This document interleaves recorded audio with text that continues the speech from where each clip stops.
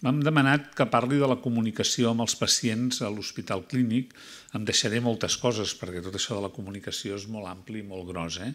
però d'alguna manera, quan parlem de comunicació, eh, estem parlant de, de l'essència de la pràctica clínica. No? D'alguna manera eh, no podem fer de metges, no podem parlar de malalties, si no hi ha una comunicació entre uns i altres. No? I això, de moltes maneres, ha passat al llarg de tota la història, aquesta manera de relacionar-se, algunes vegades doncs, d'algunes maneres més, Eh, més encarcarades. Aquí tenim el cas de l'Enec, que era un metge francès molt tímid i que en aquella època no hi havia el fonendo per escoltar i la gent escoltava posant l'orella directament a l'esquena i com que era molt tímid es va inventar aquest tub perquè així no havia de posar l'orella a l'esquena. Eh? Però eh, també és una manera de comunicar-se i després més modern doncs ja, ja ho veiem. De vegades, el, sobretot, el, sobretot els metges, som una mica, una mica especials a l'hora de comunicar-nos, no? perquè és una mica difícil d'entendre aquesta lletra. I això ja, ja diuen lletra de metge quan vols dir que, que escrius malament i que no se t'entén. Això no és un bon exemple del que hauríem de fer per comunicar-nos. No? Aquest no és el bon exemple eh, que hauríem de fer i sort en tenim dels farmacèutics que fan cursos de traducció i moltes vegades doncs, entenen coses que, que no semblen d'allò. Per tant, ja parteixo de la base de dir hi ha una part de coses que hem de fer el mea culpa, hi ha una colla de coses que no, que no, no acabem de fer bé, però mm, segurament si haguéssim de triar una tecnologia, una cosa per fer, per millorar la comunicació, l'instrument millor és la cadira. No? És a dir, l'instrument millor doncs, és seure i mirar d'establir un diàleg i una conversa. I a partir d'aquí ja em diran que això tampoc és tan fàcil, que moltes vegades és complicat, que ja ho veurem. Eh? Però que segurament si haguéssim de triar, jo si hagués de triar un exemple o una cosa que pogués anar bé, seria la cadira. Parlar de comunicació des de l'hospital i en l'àmbit sanitari eh, és, molt, molt, és un tema molt ampli, molt gran. Jo m'he atrevit a dividir-lo en cinc apartats, no? en cinc eh, dimensions d'aquesta participació i comunicació que anirien des de la presa de decisions més particular, més individual, fins a aquella comunicació que es fa amb els mitjans de comunicació, que es divulga i que es diuen coses. Tot és comunicació, qualsevol cosa que fem, qualsevol gest que fa una infermera, un metge, un afició, algun professional, comunica, ja diu alguna cosa. Eh? Però que si ens posem a mirar de fer una classificació, diem, com hi ha un primer element molt important, que és aquesta comunicació que tots vostès tenen eh, amb un metge, amb una infermera, amb un professional sanitari per prendre decisions que l'afecten a vostès i que és dir, m'opero o no m'opero, no? I o em convé aquest tractament o no em convé aquest tractament. I aquest és un primer grau de comunicació que és extraordinàriament important i que té trets comuns amb altres formes de comunicació, però que és molt, molt, molt particular. No? Això hi ha una bona pàgina web que si volen hi poden anar i veuran molta informació d'això. És el que en diem decisions compartides, d'alguna manera hi ha decisions que són molt clares, que, que no hi ha discussió. Eh? Si vostès es troben a urgències amb un mal de panxa i algú els diu que tenen un apendicitis, doncs home, si la persona que els ho diu no té aspecte de delinqüent, segurament vostès se'l creuran i superaran perquè es fa molt mal de panxa i tothom entén que un apendicitis és una situació de que s'ha d'operar. No? En canvi, si vostès tenen artrosi de genoll, o tenim artrosi de genoll, la decisió de si hem de fer una cosa o una altra, dius, escolti, escolti, escolti, escolti, potser que ens ho pensem, no? Potser que no correm i no anem de pressa. Aquí és on hi ha les decisions compartides. Quines són les meves opcions? Què puc fer? Només em puc operar del genoll o puc fer altres coses? Quins són els avantatges i prejudicis? I tot té pros i contres, no? Quina probabilitat hi ha que, eh, que es donin en mi, no, no, no al, a tothom. Eh? Al final, quan parlem de decisions compartides, són les que afecten a cadascú de nosaltres. Quina probabilitat hi ha que es donin aquests efectes positius o negatius? i de quina manera em poden ajudar a prendre aquesta decisió. No? Això són preguntes que quan ens trobem amb aquest dilema no de l'apendicitis, sinó de l'artrosi de genoll, doncs segurament ens hauríem de fer i hauríem de facilitar doncs elements, no? que és informació, opcions de tractaments, comparar les opcions, experiències d'altres pacients. És molt útil poder escoltar experiències d'altres persones que tenen problema semblant al nostre i que ens expliquen com se n'han sortit i què és el que han fet. Aquí a l'hospital hi ha la, la doctora Montse Núñez, ha treballat molt amb el tema d'artrosis de genoll i si entren en aquesta pàgina web del Departament de Salut veuran que hi ha tota aquesta discussió sobre l'artrosi de genoll, amb filmacions, amb coses que ajuden molt. Per tant, hi ha una comunicació que tenim alguna eina eh, per poder veure com podem comunicar-nos i com podem prendre decisions a partir d'aquesta comunicació. Veuen aquí hi ha tots aquests dibuixos que expliquen, aquí ho poso més ampliat, quines són les opcions de tractament, és a dir, podem fer un tractament que sigui sense cap medicina, fent activitat física, protegint l'articulació, portant bastó, podem fer un tractament amb fàrmacs i podem fer un tractament quirúrgic. I en aquesta pàgina es discuteixen els pros i contres de cada tractament. Poso aquest exemple, però podríem posar les intervencions de la pròstata, per exemple, o alguna, molts exemples. Eh? I només els explico, ara estem parlant d'unes decisions que afecten a una persona en concreta que té un problema de salut concret. Però moltes vegades, quan ens trobem davant d'aquestes eh, disjuntives, ens trobem que ens plantegen un parell de tractaments. Jo poso intervenció A o intervenció B, però podria ser només donar fàrmacs, pastilles, o només intervenció. I si jo els dic que la intervenció A té el doble de complicacions que la intervenció B, quina intervenció triarien? La A té el doble de complicacions que la B. Vale? La B, no? Si jo dic que una té el doble, eh, segur? Esclar, si jo els hi dic que... bueno, em sembla que és al revés, però és igual. Si jo els hi dic que imaginin-se que cada punt és una persona que s'ha operat. Una persona que s'ha operat, d'acord? I el punt vermell és una persona que s'ha operat i que ha tingut complicacions. D'acord? Això és amb una intervenció. Amb una altra intervenció hi ha el doble de gent, però és que el doble són dos. Hi ha gaire diferència entre una i altra? És igual, no? No, no hi ha massa diferència. En canvi, eh que els he espantat molt quan he dit el doble? Quan he dit hi ha el doble de complicacions. Ja dius, home, jo no sóc boig, jo no l'agafo que hi ha el doble de complicacions. Però si els hi explico així, segurament es veu un pèl diferent, no? Segurament diré, escolta'm, no, no hi ha diferència no, entre una i altra, perquè el doble és veritat, és el doble, hi ha dos puntets vermells i dos puntets és el doble que l'un. Ara, la diferència és molt petita. Per tant, aquí entro en el segon punt que volia parlar aquesta tarda, que és que per poder decidir s'ha de tenir informació i s'han de tenir eines per poder decidir. És a dir, el que no podem decidir només el que ens diu el primer que passa per allà, com jo m'he permès de fer-los la broma de la doble de complicacions. No? Eh, per tant, quan parlem de comunicació, hi ha una cosa molt important que és donar una informació curada i explicar bé les coses. Aquesta diapo l'agafo de la Marga Jansà, que és aquí, que ho explica molt bé, i diu, clar, la, la, la comunicació no és omplir el cap amb dades, no és omplir el cap amb tota una colla d'informació que et deixa una mica estabornit. No? Eh, la informació ha de servir per poder portar el cotxe. És a dir, portar el cotxe vol dir que puguis prendre decisions, que puguis decidir la intervenció A o la intervenció B. Per què? Perquè hi ha hagut prou, prou elements que t'ajuden a prendre aquesta decisió. I, I no només que jo m'he quedat tranquil perquè els he estat mitja hora explicant els pros i contres de la informació i que ara decideixi. D'acord? Aquesta, això és una mica de trampa. Això no, no, no es pot fer així. Eh? Sí que eh, això que en diem apoderament o empoderament o empowerment en anglès d'alguna manera vol dir que hem de posar les condicions perquè les persones puguin decidir sobre la seva salut. No? I ho definim d'aquesta manera. No? Eh, per gestionar... És dir, tothom entén que per conduir s'han de tenir habilitats, no? i és unes habilitats que segurament un cop ho aprens ja condueixes sense pensar afortunadament no pensem quan conduïm, no? És a dir, ja ho fem automàtic, ja ho hem après, ho incorporem i durant un temps ens hem entrenat, hem tingut algun susto, eh, però que d'alguna manera eh, quan conduïm no estem pensant tota l'estona. Amb la salut hi ha un aspecte que és el mateix, hi ha una colla de coses que les hem de portar integrades a la motxilla i hem d'entendre que no és bo fumar, que hem de fer activitat física, hem d'entendre que la dieta ha de ser equilibrada, etc. No?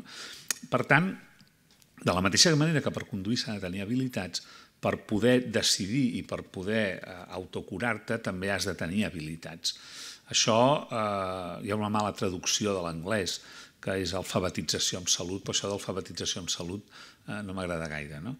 Potser la, la, la idea és dir hem de promoure els coneixements i les habilitats en salut per poder prendre decisions i això vol dir fins a quin punt les persones tenen capacitat per obtenir la informació, l'has de poder obtenir, l'has de poder processar, és a dir, te l'han d'explicar d'una manera adequada, l'has de comprendre i l'has de poder identificar quins serveis són els més importants per prendre decisions sobre la teva salut. Per tant, aquí hi ha tot un paquet de, de coses en les quals els professionals sanitaris tenim molta responsabilitat. És a dir, que si comencem a fer lletra de metge amb tot el... O sigui, si expliquem les coses de la mateixa manera que escrivim, segurament no ajudem gaire a aquesta idea de prendre decisions. No? I les persones que reben aquesta informació, aquesta comunicació, han de poder sentir-la, és a dir, moltes vegades hi ha dèficits de comunicació perquè no ens anem adonat que aquella persona no hi sent bé i que llavors parlem d'una manera, si parléssim una mica més a poc a poc o cridéssim una mica més, segurament aquesta informació arribaria millor. No? Eh, ha de ser capaç de seguir eh, direccions, d'omplir petits formularis, eh, de fer càlculs bàsics, d'interactuar amb els professionals, és a dir, no de tenir vergonya de parlar amb els professionals sanitaris, Aquí hi ha una falta, eh? l'he corregit però m'he equivocat, ha de saber trobar informació eh, de temes de salut. Eh, per tant, quan nosaltres parlem de que hem de facilitar una informació adequada a les persones i hem de facilitar eh, el que puguin prendre decisions, hem de veure com ens adaptem al receptor, com ens adaptem a la persona que tenim a davant i de quina manera nosaltres expliquem les coses. No? Moltes vegades donem un accés d'informació en molt poc temps. No? És a dir, que tu, vostès segur que s'han trobat a la consulta que els hi, hem, els hi hem canviat quatre medicines, els hi hem dit que mengin no sé què amb sal, sense que caminin, que facin no sé què. Això és una mala manera de que informem i eduquem i ajudem a prendre decisions en temes de salut és una mala manera, és a dir, d'alguna manera fer això eh, no és el que seria més convenient. A l'hospital hem treballat molt el tema aquest de la informació per veure de quina manera podem millorar aquesta informació. L'any 2010 ja també la Marga Jansà ja van fer un primer treball per veure quines activitats educatives fèiem a l'hospital, què és allò que, que podíem fer, i vam repetir eh, aquest mateix anàlisi al cap de 4 o 5 anys, amb la idea de veure quin material informatiu donàvem, quins programes educatius eh, fèiem servir i quins suggeriments ens donaven els professionals. I vam fer una enquesta de l'hospital. D'alguna manera, la primera cosa que havíem de fer era una foto per veure on érem i per veure quines innovacions o què és allò que havíem de canviar i que havíem de fer. No? I vam analitzar els materials escrits que hi havia a l'hospital i n'hi havia molts, hi havia, vam trobar 258 materials informatius que van des d'un full fins a un llibre de no sé quantes pàgines, és a dir, material informatiu escrit és molt variat, i vam veure que un terç d'aquests materials necessitaven millora.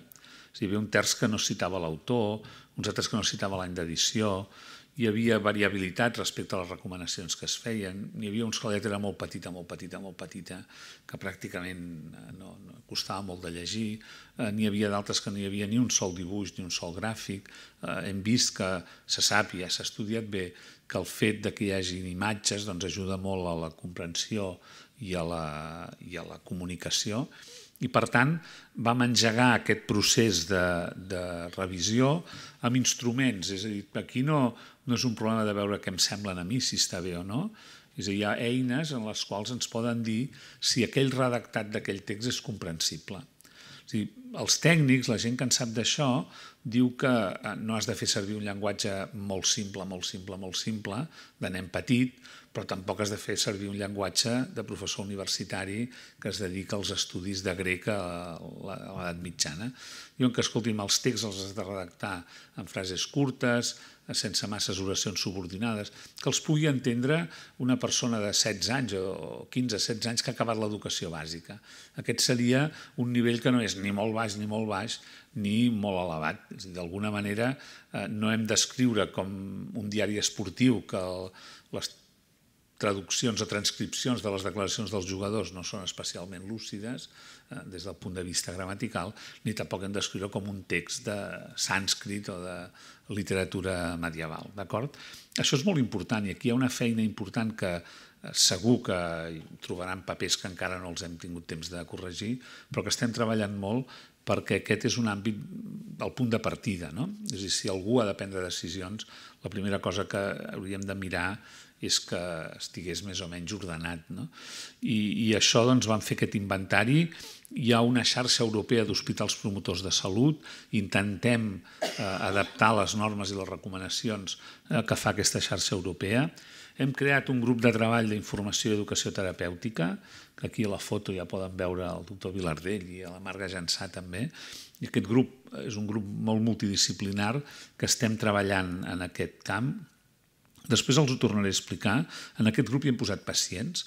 Hi ha pacients que participen en aquest grup i ens ajuden a decidir si aquell document o aquell paper s'entén prou bé o no s'entén prou bé, opinen sobre les coses que fem, però a més a més hem fet una altra cosa que és eh, donar als professionals eines perquè puguin eh, treballar més a favor dels pacients. Hi ha dues eines molt importants en diem PNTs, procediments, procediments normalitzats de treball, i n'hi ha un de PNT d'aquests per elaborar documents, quins criteris s'han de fer servir per elaborar documents, però un altre, molt important, que no m'extendré, però no perquè, sigui, no perquè no sigui important, sinó perquè no tocava amb el context aquest que fèiem, que és que tenim uns PNTs per veure com s'han de dissenyar programes d'educació terapèutica.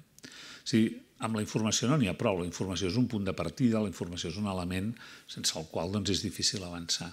Però sobretot quan fem front a malalties cròniques, allò que es necessita és, a més de la informació, donar eines perquè els pacients puguin controlar la seva pròpia malaltia. És a dir, quan tens una malaltia crònica, que pots anar a cal metge un cop a la setmana, pots anar a veure una infermera un cop a la setmana, et poden venir a veure a casa un cop a la setmana i la resta de temps que fas l'element clau és donar informació i donar eines perquè els pacients i els cuidadors durant aquest temps que no estan en contacte amb professionals sanitaris doncs puguin eh, manejar adequadament la seva malaltia. Això, a més a més, no ho hem fet sols, vull dir que el grup de treball ho ha fet aquí dalt. Ja des del primer moment, l'octubre del 2014, totes aquestes històries que volíem fer ja les vam explicar a pacients perquè ens donguessin feedback, perquè ens diguessin, escolta, això no, no ho acabem de veure clar. I a més a més, treballem també amb els últims dos anys amb l'atenció primària perquè entenem que una de les coses que hem d'evitar són contradiccions. Una de les coses que hem d'evitar és que a un costat diguin que s'ha de menjar molta llet i a un altre diguin que no s'ha de beure llet. I un altre. I a vegades això ens passa, és a dir, a vegades enfoquem les coses d'unes maneres que no ens n'hem parlat.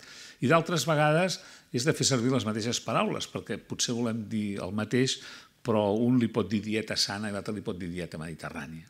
Escolti, al final deu ser molt semblant això, però posem-nos d'acord amb quina paraula fem servir, perquè si no, escolti, la dieta sana no és la dieta mediterrània. Eh, I això és el que estem treballant amb l'atenció primària per evitar aquestes coses. Jo crec que la, una de les aportacions més importants i un dels canvis més significatius que hem fet i que hem après molt és quan hem incorporat pacients en aquest grup de treball.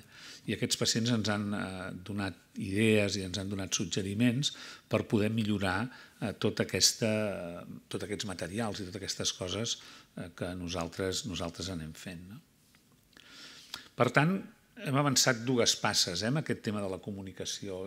Hem avançat en un àmbit que és l'àmbit personal, individual, que és molt important, eh, perquè és el que ens afecta a cadascú de nosaltres. Hem passat un altre, un altre àmbit en el qual doncs, és més el grup, més el, els pacients que tenen problemes comuns als meus, doncs, dir, segurament un programa educatiu per persones que tenen diabetis o que tenen insuficiència cardíaca és molt semblant, hem de fer un, un programa únic i específic per cadascú. Eh? Per tant, hem passat una mica d'allò del jo, jo, jo, jo, que és molt important, al grup de gent que té el, malalties. Però amb la comunicació, l'hospital amb la comunicació crec que hi ha una altra dimensió que és molt important, que és veure de quina manera consultem eh, en els pacients què és allò que necessiten i de quina manera els fem participar. I aquí hi ha una comunicació en la qual jo crec que hi ha mancances, que hi ha coses que s'haurien de millorar, però que és molt important. Un dels pitjors errors que podem cometre és fer suposicions. I això ho cometem els professionals sanitaris moltes vegades. No? Suposar que aquest tractament és molt bo, suposar que... Eh, una cosa és conèixer si és eficaç o no, és a dir, si funciona o no funciona. Pues això sí que ho hem estudiat i veiem que... Però si és bo per un pacient o no, eh, per algú pot ser molt bo i per l'altre no pot ser tan bo. És dir, potser no hauríem de fer tantes suposicions i preguntar més què esperen del tractament, eh, quins símptomes han tingut amb aquest tractament. Dir, potser hauríem de deixar de fer aquesta idea de, de suposicions. És molt fàcil no fer suposicions, consisteix en preguntar. És molt senzill, pregunto. Eh, quan tinc un dubte, pregunto. I aquí és on ve aquesta idea de consulta. Consulta no només en temes mèdics, els hi poso aquest exemple perquè el vam portar a la pràctica també nosaltres tres, en el sentit de dir, escolti, vostès què esperen de la pàgina web de l'hospital? Eh, és un mecanisme de comunicació molt important. Una pàgina web de l'hospital és realment molt important perquè cada vegada segur que vostès a l'smartphone poden accedir o a casa o, o, o si no t'agraden a tu tens un familiar que hi pot accedir. Per tant, si parlem de comunicació, això és molt important. I vam preguntar a grups de pacients vostès què volen de la pàgina web de l'hospital, què, és el que els interessa. No? I ens han dit, home, a nosaltres ens interessa que les informacions estiguin signades. Què vol dir signades? Vol dir que, que siguin de l'hospital clínic i ens sembla bé, però dir quin metge ho ha fet, quina infermera ha parlat d'això, quin tècnic ens explica que aquest aparell funciona, perquè això li dona valor. El fet que estigui signat no és que algú... No, no, ho diu fulanita de tal i aquesta persona és la que d'alguna manera responsabilitza, es fa càrrec d'aquesta informació. Els pacients ens van dir, quan els vam preguntar, que valoraven molt que hi hagués testimonis d'altres pacients altres pacients que els haguessin operat de, del cor o que eh, hagués tingut un càncer eh, de, del colon. No? Era molt important perquè aquells testimonis sí que matisaven eh, una mica el grau de patiment que pot produir això, Eh, l'angoixa que ha pogut produir. Això moltes vegades ens costa d'explicar-ho a nosaltres. No? Per tant, això es valorava molt. Es valorava molt, i això tenim oportunitats de millora, hem de millorar, que a la pàgina web hi haguessin eines pràctiques, veure quines visites tinc, com, com les analítiques com han sortit. O sigui, segurament això evitaria molts desplaçaments i estem treballant, eh? Vull dir, això està en construcció. Eh, la pàgina web ha de ser interactiva, és a dir, interactiva vol dir que ja veurem com ens en sortim i com ho podem fer, eh? però allò que té sentit i que segur que a futur ha de ser així és que la gent pugui fer preguntes, no? perquè eh, si tu tens per què és millor la pàgina web de l'Hospital Clínic que la de la Clínica Mayo. No sé si és millor, és diferent. És dir, que segurament nosaltres hauríem de jugar amb això que està signat, que és pròxim, que intentem contestar problemes de persones d'un mèdic que nosaltres més o menys coneixem. No? Per tant, això seria un valor. I la tercera cosa, que també en parlarem al final de la presentació, una cosa que ens demanaven els pacients és de fer intel·ligibles les notícies i les innovacions. Ha sortit una vacuna per l'Alzheimer o eh, han descobert un tractament que cura la diabetis. No? I surt al diari i els pacients diuen, escolti'm, tradueixi això. Perquè tradueixi no vol dir no m'ho crec i m'han enganyat. No, no, no. El que vol dir és, digui'm que això és veritat als ratolins, però que a les persones serà veritat d'aquí 20 anys. Que hi ha una vacuna que funciona molt bé, però que ha funcionat en un experiment, i això trigarem 12 13 anys a que sigui realitat. Aquí hi ha una traducció d'aquestes notícies, de dir, és veritat, però només és útil per les persones que tenen aquesta situació molt especial de que no sé què. Això ens demanaven de la pàgina web, això és comunicació. És a dir, aquí nosaltres hem fet dues coses. Hem consultat els pacients per veure què volien a la pàgina web i amb això procurarem comunicar-nos una mica millor. Però hi ha altres maneres de veure aquest feedback. No? Eh, aquí vam fer un exercici de, de dir i per què no preguntem a pacients que no coneixem de res, que sabem que han vingut a l'hospital, però que, que no els coneixem, i vam cridar els pacients a l'atzar. És dir, vam agafar persones que havien ingressat a l'hospital tres mesos abans, els vam trucar i dir, escolti, poden venir aquí a l'hospital a fer una reunió eh, perquè volem parlar de coses de, de l'hospital. I van venir eh, 11 persones, vam cridar 14, un no va contestar, dos es van disculpar però sentint-ho molt perquè no, no podien venir, és dir, que la resposta va ser extraordinària, i vam triar persones més o menys que ingressen per les causes que ingressen més o menys a l'hospital. No? És a dir, un 8% dels ingressos són parts. Eh? És a dir, quan pensem en l'hospital clínic hem de pensar en la maternitat, i un 8% dels ingressos que fem són per senyores que han de tenir una criatura. És a dir, imagini's quan pensen a l'hospital clínic, pensen en intervencions, accidents, càncer, etc. Però un 8% són bones notícies d'entrada. No? El, un grup de persones ingressen perquè s'han d'operar, uns altres venen per urgències. Els vam cridar, els van preguntar, escolti, com són les relacions amb els professionals, com és l'organització, quins equipaments millorarien. I ens van identificar coses que estaven bé. Eh? Jo, com una anècdota, amb allò que deia no feu suposicions, eh, quan vam entrar a la sala eh, hi havia una senyora molt gran que estava barallant-se amb el telèfon i, i hola, bona tarda, bona tarda.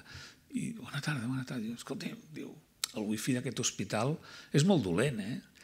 bueno, em va dir que era una merda, però vull dir que, diguéssim, polit, eh, va dir això.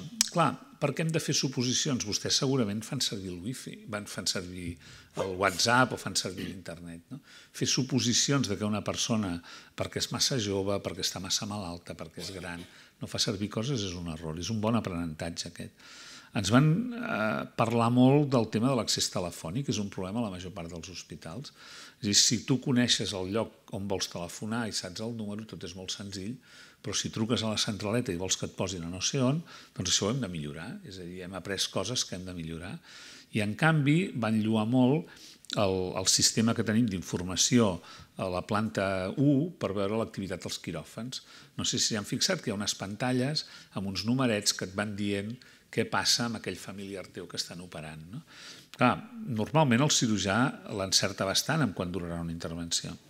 El que no encerta és quan comença, perquè no depèn d'ell. No? Si diu la intervenció durarà dues hores, i diu, oh, però és que han a les 9, eh, són les 12, la 1 i no ens han dit res.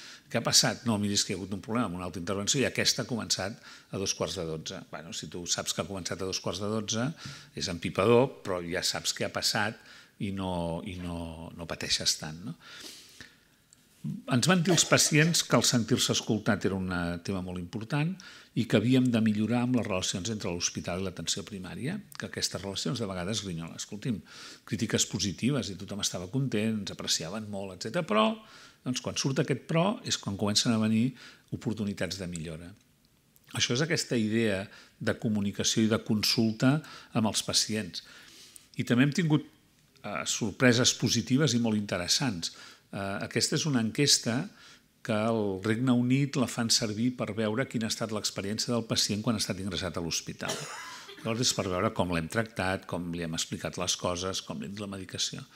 I nosaltres la vam traduir, la vam adaptar al català i al castellà, i per provar aquesta enquesta vam dir l'enviarem a 800 pacients. I vam tenir la gran sorpresa que ens van contestar el 44%. Això des del punt de vista tècnic, el 44% és per tirar coets. Eh? Vull dir, és una, un personatge de respostes. Quan envies una enquesta per correu eh, electrònic, eh, de correu electrònic, sense més, vull dir, la, si tenen el 25-30%, la gent ja està molt contenta. Eh? El 44% és molt, és a dir, les persones volen col·laborar amb l'hospital, ens van donar informació, ens van posar comentaris, i això ajuda molt no? a, a la feina. I aquí van fer la feina de la cadira. No? La feina de la cadira és a dir, parlar amb pacients, en aquest cas, eh, en aquests moments a l'hospital, estem mirant de millorar tot el procés d'atenció a les persones que tenen càncer de pulmó i vam començar a dir, bueno, doncs una cosa que podem fer és preguntar a la gent que està amb aquest problema per veure com van i, per tant, vam fer entrevistes no història clínica, sinó entrevistes. Escolti, vostè ja porta 4, 5, 6, 7 mesos a l'hospital, com ha anat tot això del tractament, tot això que li hem fet? Vam veure que hem de millorar sobre qui informa, qui, qui és la persona que dona la informació, de quina manera s'informa, hem de millorar. Eh, el temps no és un problema que sigui ni llarg ni curt el temps, és que és diferent pel pacient i per nosaltres. No? És a dir, que quan nosaltres diem que anirem ràpids a fer el TAC i el farem divendres de la setmana entrant, per nosaltres és un èxit, perquè si no anéssim ràpids potser seria a finals de juliol però, és clar pel que té un problema i vol saber quin és el seu diagnòstic, aquest temps li pot semblar que és una eternitat. No? I aquesta idea de que el temps no és ni llarg ni curt, sinó que el temps és, depèn d'aquí, això a vegades ho hem de tenir present. No? Estem contents perquè, malgrat tots els problemes que hi ha a tot arreu, les persones se'n refien de nosaltres i les persones manifestaven confiança en l'hospital. Hem de millorar la resposta a problemes urgents, i sobretot hi ha un contrast que em va fer molta gràcia l'expressió que va fer una de les pacients que vaig entrevistar, és que molts pacients contrasten la intensitat de cures que fem a dintre l'hospital i en un moment determinat se'n van d'alta i aquesta senyora em va dir que jo tinc la sensació que m'han abandonat com si un nòvio m'hagués deixat. No? Eh, doncs hem de treballar-ho, això, perquè moltes vegades és un problema de coordinació, un problema de lligar coses amb l'atenció primària. I l'altre missatge per mi molt important és que un dels pacients em va dir que els saladors eren molt amables. I això és una reflexió no tant per vostès, sinó pels professionals de l'hospital, per dir que tots som cuidadors. Portar una bata blanca dintre l'hospital, eh, vostès no identifiquen si aquesta persona és de manteniment, si és una infermera... És un... Per tant, insisteixo que aquest missatge no és per vostès, és per, és per nosaltres, pels professionals. És dir, tots tenim responsabilitats a l'hora de tenir cura de les persones. No? I aquest punt és molt important. Aquí el preguntar no és només preguntar per no fer res, no? I aquí torno a posar un altre exemple d'endocrinologia, de les bombes d'insulina, en el qual eh, l'equip d'endocrinologia, la Marga Gensà, van preguntar en els pacients amb bomba d'insulina. La bomba d'insulina és un aparell que va injectant insulina contínuament eh, cos, de manera que es regula molt millor la diabetis, però has de saber com funciona aquest, aquest aparell, has de vigilar amb el que menges i no menges, has de vigilar amb l'activitat física que fas, és a dir, l'ensinistrament per poder portar la bomba d'insulina és molt important i el programa educatiu per poder portar la bomba d'insulina és molt important. Vam preguntant als pacients què els hi semblava això del programa educatiu, ens van dir coses de pros i contres, vam fer una enquesta en aquests pacients, a tots els pacients que portaven bombes d'insulina, el Servei d'Endocrinologia va passar un procés d'acreditació i van crear, han creat una comissió de control de qualitat d'aquest programa educatiu. I en aquesta comissió hi ha dos pacients, dues persones que porten bomba d'insulina i que participen en aquesta comissió. Una mica, jo sempre poso aquesta diapositiva com a exemple de per què hauria de servir preguntar a les persones que tenen relació amb l'hospital. Hauria de servir perquè al final, al capdavall haurien de dir i hem canviat aquesta petita cosa. Això ho hem pogut canviar, ho hem pogut millorar. No té sentit anar preguntant si al final, al capdavall no pots dir això. Per manifestar que volem que els pacients participin, el Consell de Govern de l'Hospital va aprovar al gener que creéssim una comissió de sis pacients i sis directius. És a dir, que eh, estan convocant ja aquesta comissió, es convocarà abans de l'estiu, hi haurà un grup, una reunió amb sis pacients i sis directius que treballaran per analitzar què és el que fem amb tota aquesta direcció. I a més a més tenim amics del clínic en el qual es contempla el voluntariat, és a dir, persones que poden venir dos o tres dies a la setmana a fer companyia a un pacient, es convoca el mecenatge, dir, escolta, jo podria ajudar econòmicament perquè facin recerca, però també estem contemplant i estem treballant perquè hi ha gent que, escolta, jo vull participar, jo no puc venir tres dies a la setmana, però si a mi em fan venir un cop cada tres mesos per anar a una reunió com aquella que els deia, jo estic disposat i crec que podria portar coses. Eh? O sigui, treballarem amb aquesta línia i al setembre d'aquest any començarem aquest programa que en diem grups de participació per dir quines persones es poden... Miri, escolti'm, en el programa aquest d'educació de la diabetis, els dos pacients amb bomba d'insulina que estan en el control de qualitat són mestres, és a dir, amb bon criteri, la gent d'endocrina van pensar una persona que és mestra, doncs, vull dir, si més porta bomba d'insulina, que coneix perfectament com va, si el posem en aquest programa de control de qualitat, pot aportar coses. No? Aquesta és una mica la filosofia eh, d'això que volem fer i una mica aquesta és la filosofia del pla estratègic de l'hospital, que quan parlem de participació i de comunicació volem que sigui un hospital centrat en les persones, és a dir, els pacients i els professionals. I aquest és una mica el, el, el motiu, el leitmotiv que ens fa totes aquestes, totes aquestes coses. I això lliga, en aquest paraigua del pla estratègic, lliga amb que hem de fer tot, informació, educació terapèutica, experiència del pacient i participació.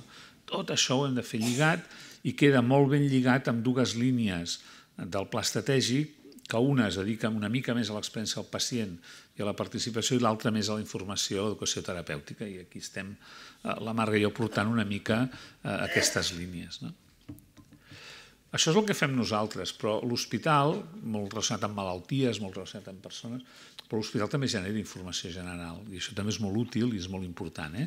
Cada vegada ens estem més allunyant del meu problema de salut i ens estem anant una mica més a la societat, però l'hospital, per exemple, eh, ha implantat aquest sistema per informar d'això de quiròfans que els deia. Si vostès volen ara, quan surtin, a la planta 1, al, al, al costat parell, veuran unes pantalles en les quals cada familiar, quan entra un pacient al quiròfan, els familiars els donen un numeret. Escolti'm, el seu codi és el 9241 i a partir del 92-41 pots anar veient aquest pacient ara acaba d'entrar a l'àrea quirúrgica, ara comença la intervenció, ara va a recuperació, ara va aquí.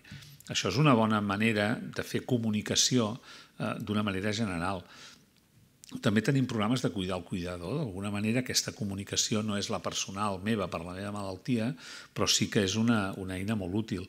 O, per exemple, l'hospital ha treballat molt el tema de campanyes de, de promoció de la salut, el càncer de colon és un exemple reconegut internacionalment eh, d'èxit i de, de bona pràctica, però els dermatòlegs del nostre hospital treballen molt amb aquesta idea de que no perdis la pell o que no et prenguin la pell, és a dir, per alertar de tots els problemes de, de prevenció del càncer de pell. No? I cada any impulsen una campanya, més o menys per aquestes dates, això és del 24 de maig, en la qual s'intenta, en aquest cas, aprofitant doncs, les farmàcies, eh, fer divulgació sobre els riscos de l'exposició al sol eh, en allò que té, fa referència al càncer de pell. No? I l'últim punt, ja molt més lluny de l'hospital, però que l'hospital pot dir coses, seria tot aquest tema de la divulgació. No? És a dir, aquest tema de la divulgació, que és tots els missatges, tota la comunicació que vostès reben a la televisió, a la premsa, Eh, moltes vegades generades pels mateixos professionals sanitaris i que d'alguna manera a vegades desconcerten. No? Eh, aquí anuncien la cura de la diabetis que acabaria amb les injeccions. No? Això és d'una notícia que va sortir en un diari i que deia doncs, que transfereixen cèl·lules i fan una colla de coses. Algú ha de tra traduir eh, això. És veritat, eh? No, el traduir no vol dir que la notícia que surt als mitjans de comunicació sigui mentida en cap, algun cas pot ser, eh? però que en general no vol dir això.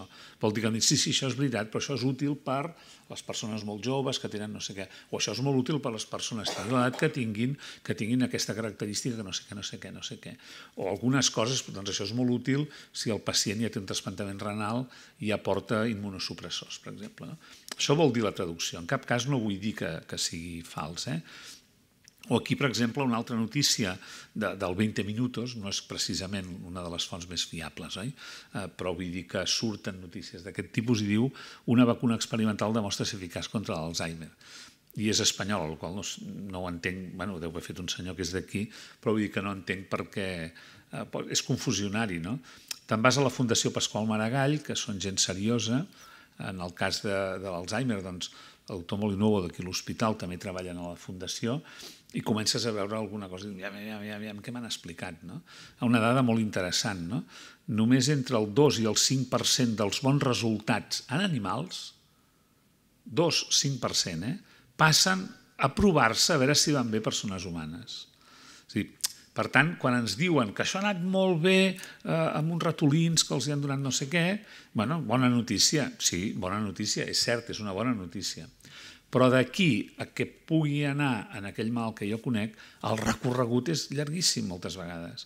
Eh, algunes persones que ho investiguen aquests temes diuen que, desgraciadament, des que una medicina es veu que funciona amb un animal fins que passa als humans, poden arribar a passar 15 anys de proves, de tests, de coses d'aquest tipus.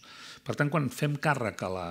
quan ens enfrontem amb el tema de la comunicació, aquí hem de ser molt prudents.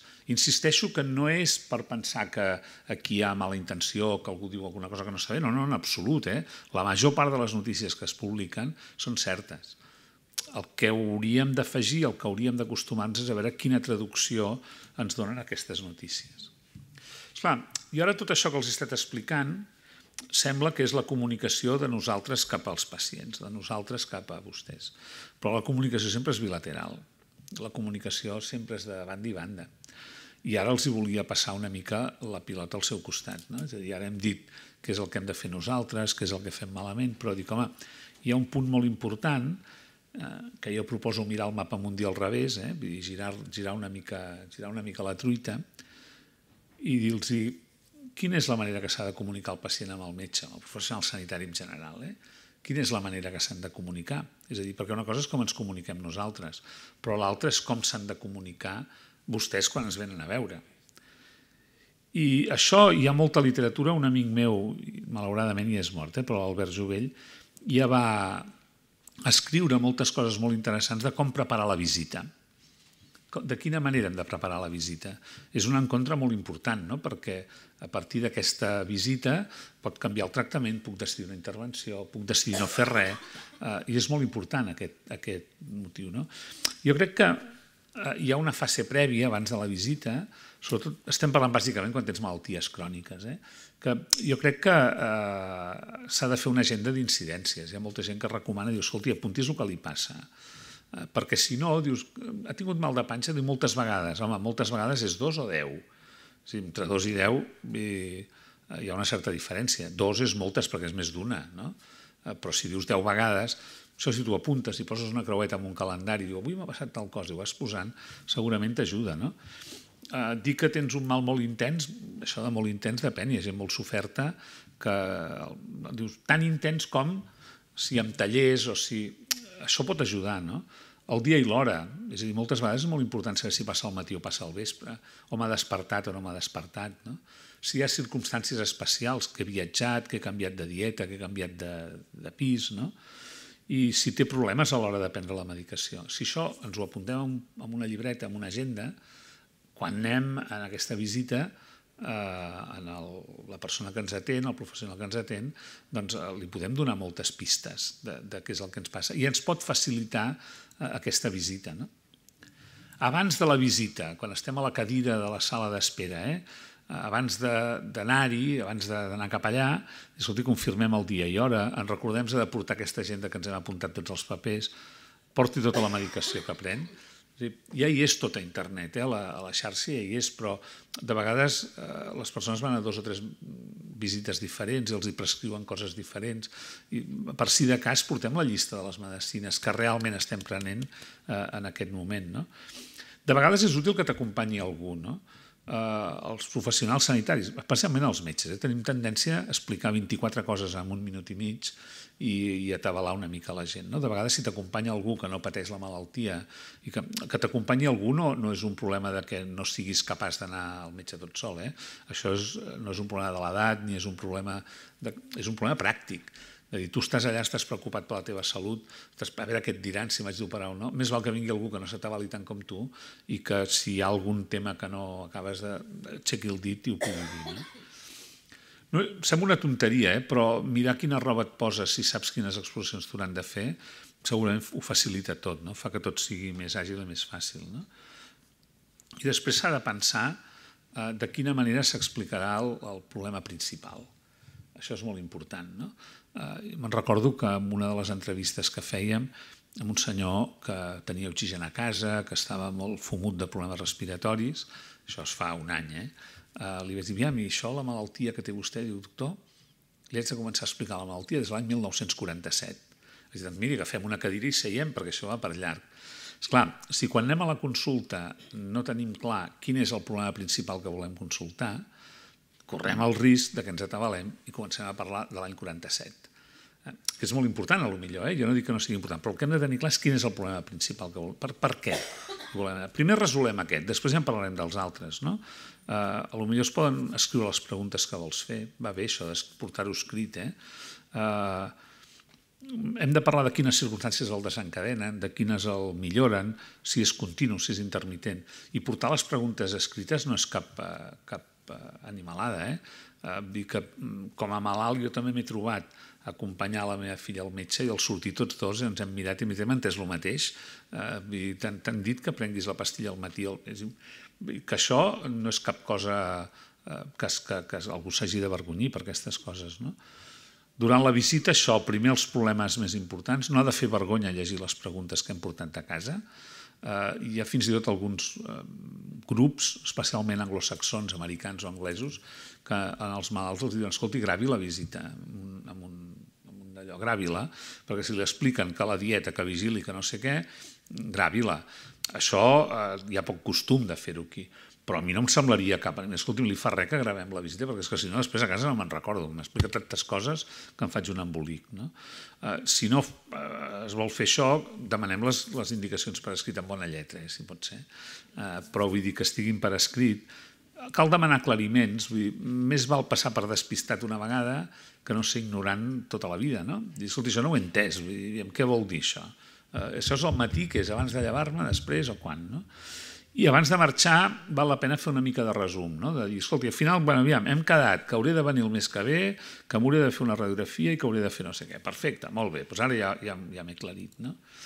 I abans de marxar, abans de marxar, mm, estàs segurs de quina manera es podrà posar en contacte amb la consulta, de quina manera podré tornar, poder trucar a la gent, de com m'haig de programar la visita si és que en tinc i sobretot no m'haig d'oblidar del que he portat, no? de la llibreta que he pres les notes, del paper que feia les preguntes, del paper que m'han donat, a, donat a la visita.